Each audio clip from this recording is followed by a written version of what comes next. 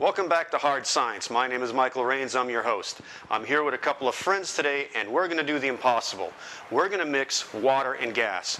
Not hydrogen, not hydro boost, not any of that stuff. We're going to mix water and gas in a can, and we're going to pour it in the car. Right, guys? I don't think so. All right, all right. They're going to change their tune real soon. So now, let me show you what we're going to do. E here is going to get the gas. Go get the gas. You get the water, and we'll be right back. Welcome back to Hard Science. My name is Michael Raines. Now, as I told you before the break, we're going to mix water and gas. Now, my friend E here, he's got the gas. Right, E? Yep. Okay. My friend Nick here, he's got the water. Right, Nick? Yep. Okay. Here's what's going to happen.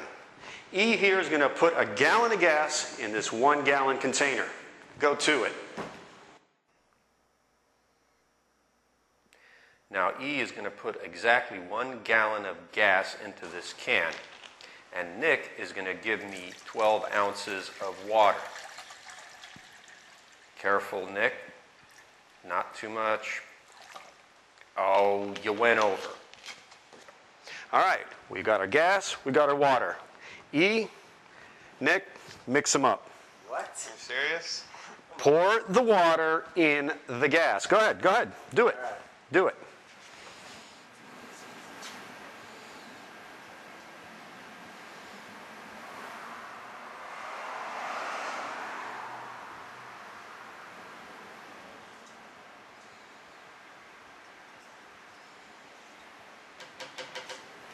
All right, there we go. Now, here's the problem, kids. We use too much water. We were only supposed to use 10%. We use 16 ounces, which actually means we have 15% water. So now we're going a little ballsy here, but I'm still confident it'll work. You guys confident? All right, but we're going to do it anyway. Okay, now we need to mix it. Who wants to mix? Kevin, you want to do the honors? Should I shake it? Yeah, you, you might want to put a top on it. and shake it and careful because that little can there leaks. All I got to do is twist it around, make it nice and mixed. There you go. Put some motion in it, baby. So while Kevin is mixing, I'll tell you a little bit about what we're doing. We're basically mixing water and gas. Everyone says, right, it can't be done. Well, we're here to prove it can be done, and we are going to do it. So now, you're going to mix it up. So let's pour it in the car and watch the car run. Right, guys? We'll. Come on, come on, say right. Yeah, let's do it. All right, let's get outside, guys. Let's go.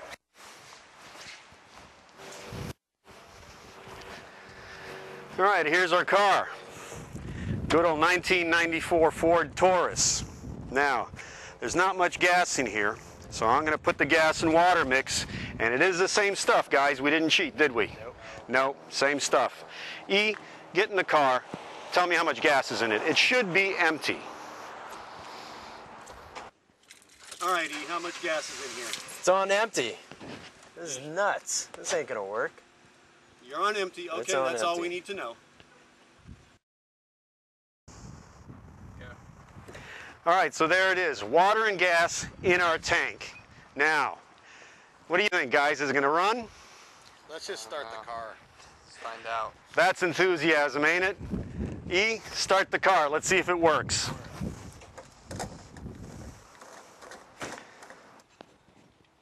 All right, E, give it a start. Hey, it's running. It's actually working off water Yeah, it's gas. actually running. There's probably still some gas left in the tank. That's what it is. Well, there you have it. The gas and water is in the tank, and the car's running. And it's still running. Wait a minute. There's still some gas left in the tank, though. Yeah, you're right about that. Guys, what do you think? There is some gas left in there, but a very small amount. Now, as we all know, water is heavier than gas. So what's going to happen if we put a water-gas mixture into this tank? It's going to go to the bottom of the pickup. So even if there was a little bit of gas in there, it's not there now because it's going to float to the top. The water and fuel is going to go to the bottom. So let there be no question that this car is running on 12% water and what? N- Yeah, 88% fuel.